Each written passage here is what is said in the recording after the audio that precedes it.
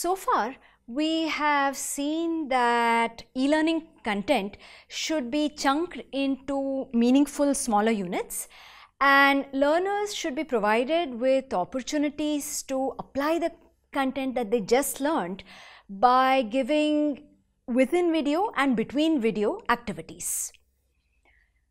We also discussed the importance of feedback.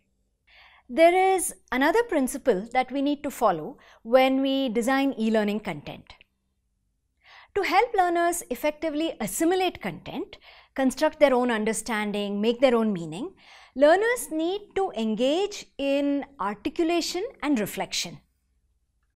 What articulation means is that learners need to express their ideas, explain their actions, their reasoning, uh, give reasons for why they arrived at certain decisions and so on. What reflection means is that learners should review what they have done. They should review their performance, their actions, they should, they should analyze their performance and compare it with their peers and with uh, experts. At this point, let us pause at a reflection spot. Consider a face-to-face -face learning scenario. Uh, maybe it's a regular traditional classroom setting or a training workshop, a face-to-face -face training workshop. Have you encountered activities where learners had to do articulation and reflection? Think of one or two such examples and write it down. When you're done, please resume there may be a variety, a diverse variety of uh, activities involving articulation and reflection that you may have thought of. Let's briefly go over two common examples. One uh, is fairly common in classrooms, in science classrooms where some science topics are being discussed and where, when uh, a teacher is discussing some science topic, it's common to show a demo of an experiment or a phenomenon. It could be a video, it could be an animation. And at some point, the teacher may pause and ask the students, why do you think this happened, what you're seeing in the video or demo? This is an example where learners are actually asked to articulate reasons for some phenomenon being observed. Another example uh, is that of reflection. It's a completely different example uh, and again very common. This is when let's say there has been a midterm exam or some in-semester quiz, uh, you know, weekly, some assessment and the teacher is returning the answer papers. At that point, often a teacher does a discussion of the common errors that were seen when she or he was uh, grading the papers.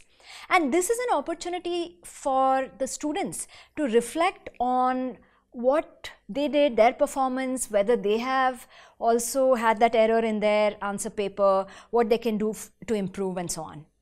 Let us look at some strategies and activities for articulation and reflection that we can include in e-learning. One example is again in a science topic where the where making predictions of an experiment, uh, this practice is very common. Scientists do it all the time, expert scientists do it. And we want our students also to develop the ability and the practice to make predictions. So, and many of us, many teachers do it. But what is important is that we should require learners not only to make the prediction, but also to articulate the reasons as to how, they arrived at the prediction. So this is an example of articulation. In e-learning content, what can be done is that if a video of an experiment is shown, we can give a text box and ask students to articulate the reasons for making a prediction and then write down the prediction. A strategy or activity for reflection within the same example of prediction that we just saw is that we can ask students to reflect on their explanation, the reasoning that they just articulated. And this can be done uh, via self-assessment using rubrics, uh, performance rubrics, which have various levels of performance and learners can self-evaluate whether their explanation, how it compares with uh, at, uh, with the rubric at various levels and they, if needed they can revise the explanation. This is an example of a mobile learning app called Know Wonder Learn or KWL. So, in this app, learners record their own thinking over time and monitor their learning progress by answering a, set of questions. So, these questions are provided in the learning app. Uh, questions such as, What do I already know? And students start with the stem, I know that, or I know how. Another question can be, What do I want to know?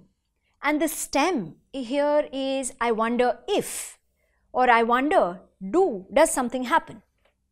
Another example in this KWL is uh, the question, what have I already learned? And here the stem is, I learned that something happened or I learned how to do something.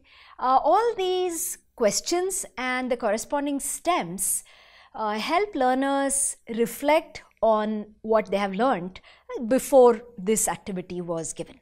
Why are reflection and articulation important? Why should we include such activities?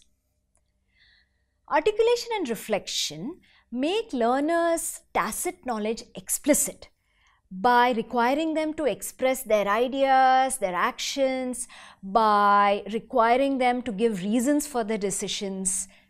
As learners articulate their reasons to one another, they share multiple perspectives and this helps them generalize their understanding and knowledge so that they can apply it in different contexts.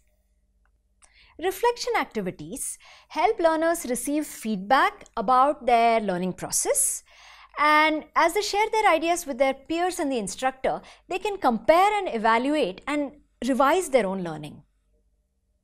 Reflection also helps learners continually monitor their learning, their progress, and plan their next actions as it comes up.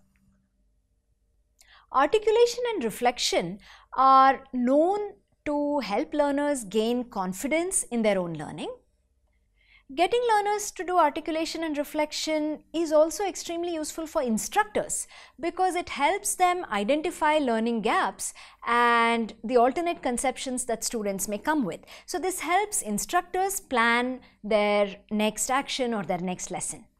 The takeaway for us as we design e-learning content using a learner-centric approach is that we need to provide activities which make learners articulate and reflect on their own learning and this enables effective assimilation of the concepts. We can use strategies such as designing learning by doing or LBD activities uh, for articulation such as in the prediction example. Uh, we can provide them self-assessment rubrics for evaluation, self-assessment. This helps reflection and finally, we can also use the discussion forum and give focus questions and activities within the discussion forum where learners have to uh, put forth or articulate their ideas, negotiate with their peers, revise their own ideas, uh, again to target articulation and reflection. Thank you.